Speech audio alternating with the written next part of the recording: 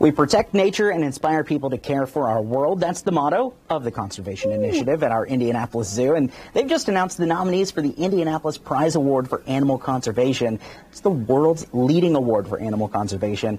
Patty Spittler, who you know is here, brought to you by Pet Pals TV, along with Allie Flum from our zoo. Thank you both for being here. We appreciate it. Oh, it's so good to see you. Yeah, and good work to with you you too. for the first I know it's time. exciting, and to get to talk with Allie for the first time here. I know you come quite often, but it's fun to be here with you.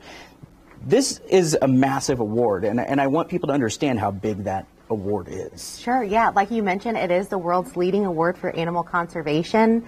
Nominees hail from across the globe, from Sri Lanka to Argentina, Brazil, uh, Republic of Congo. So, really, all around the world, it's an international award that we're very proud of. How do you find these nominees? I mean, that's a big range of people. Yeah, they actually submit. So they um, we send out um, a, a notice that we're accepting nominations, and then they are nominated by uh, one of their peers or colleagues, and then they go through a process with a nominating jury and committee. Um, from the Indianapolis Zoo, which houses international and renowned conservationists and local Indianapolis representatives who dwindle down the list of now the 51 nominees to, to the six finalists. Whoa. Wow. So you have to dwindle 51 We're people down, down to six. and then down to one. And the win- it's every two years, right? Correct, Okay. yes. So the last winner I remember because I spoke with her. She was into saving seahorses. Yes. And how that affects you know the rest of the world because there's it's always a trail. Right. You know, one thing escalates into another, and how we're messing up the sea bed, and we shouldn't do that. So I just I just love conservationists. I think it's wonderful, and it inspires younger people too. It doesn't it to be involved in conservation. And we actually have a new award this this year in 2023. It's the Emerging Conservationist Award, uh, which will honor um, conservationists under 40 years of age that are working to save species. Oh, look at this. Isn't this wonderful? All the polar bears, we need to help them too. Isn't, I mean, when you see how lovely and how beautiful our world can be, oh, tortoise, I just, I want to be, I want to start over life and be a conservationist. It, it is. It's such a tall task, and oh. and it's important to get those people under the age of 40 involved too, right? Because Right. we want that to be something that's fostered through young age to, to the point where they're hopefully getting these massive awards. Sure, yeah, and that was the whole point of this new award for animal conservationists is to encourage younger generations to get involved in conservation, whether it's from recycling or reducing waste or, you know, reducing your plastic source income.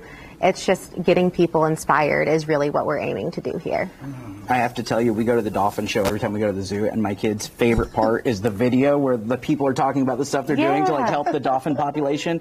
And my daughter just got an award at, at school for being going green, and she's she's all about it, and, and it oh. all comes from fostering at the zoo there. So- Yeah, well, that's that, those are the stories that we love to Yeah. hear, and that's what we aim to do is empower people to to make good conservation choices and to to help uplift these conservationists who Well, are doing the work. and we hear so much, I mean, the news, we have to have it, know what's going on, but it's also good to see the positive news and what people are doing that is positive to help our world. So we need your Absolutely. story with your daughter going to the zoo. Maybe she could be a yeah, be a blast. We're there all the time, all the time. See, thinking all the time. When are these finalists going to be announced? The finalists will be announced in early 2023, and then the winner will also be announced in April, or will be announced in April of 23. So we have some little time to give the jury some time to deliberate, and like I said, dwindle down those nominees to the finalists and then the winner. So it's a process, but it'll be in early 23 when we And make those we announcements. Didn't mention how much is this prize, which they Yeah. because This they have to help everybody, Yes. and it's, it's expensive. The winner of the uh, Indianapolis Prize will receive a two hundred and fifty thousand dollar prize, and the fi- and the five finalists each receive fifty thousand dollars.